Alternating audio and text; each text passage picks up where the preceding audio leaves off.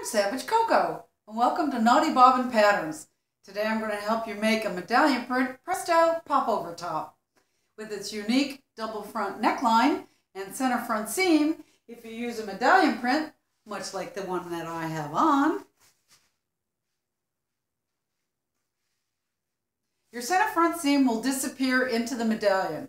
So let's get started. What you see behind me is a blank space on my medallion print fabric a fully traced out front, a fully traced out back, and actually two sleeves that are just visible at the edge of the screen here. The reason for that is, is that helps with matching and your match point. Speaking of match points, I've given myself a match point at my upper bust and my mid hip, both on my double front here, both sides, and both sides of my back piece here.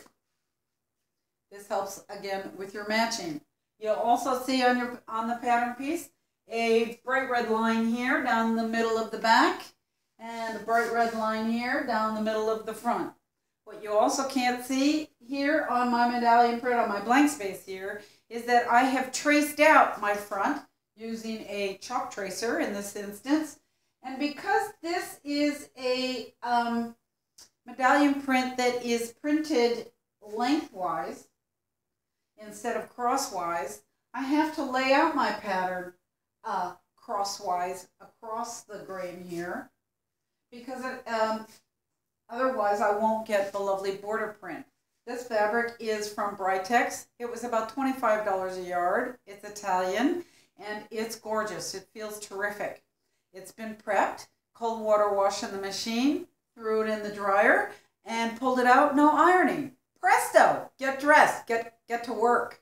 Okay, so um, you'll also notice that it has a bright magenta pink a, um, border here and this lovely almost Greek key looking border here. This border repeats here as well.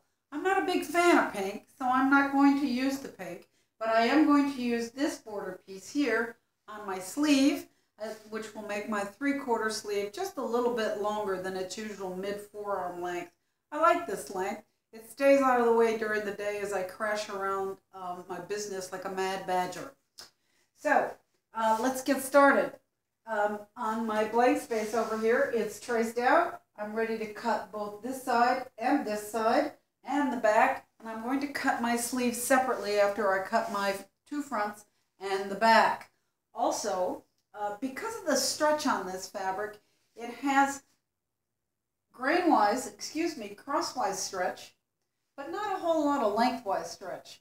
And because I'm laying this out, as you can see, across the length, instead of its usual knit layout, which would be lengthwise, this is being cut crosswise. I'm going to lose a little stretch.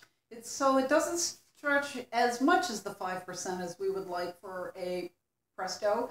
So I'm going to give myself a little extra room here on the side seams, about 3 eighths of an inch.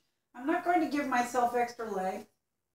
I'm not going to give myself extra length at the top or the bottom. I'm just going to give myself about 3 eighths inch on the side seams here. It'll give me just enough room to, for a perfect fit and not have to go up, up a size. And if I went up a size, I would have too much shoulder and too much upper bust and it would just simply look too big on me.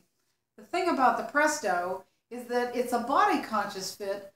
It, it has just about 0% ease on it so that it shows your shape, moves with you throughout the day, but it doesn't look too small and it's not too tight. And with a medallion print especially, you can eat pasta and all that print is going to hide all those lumps and bumps.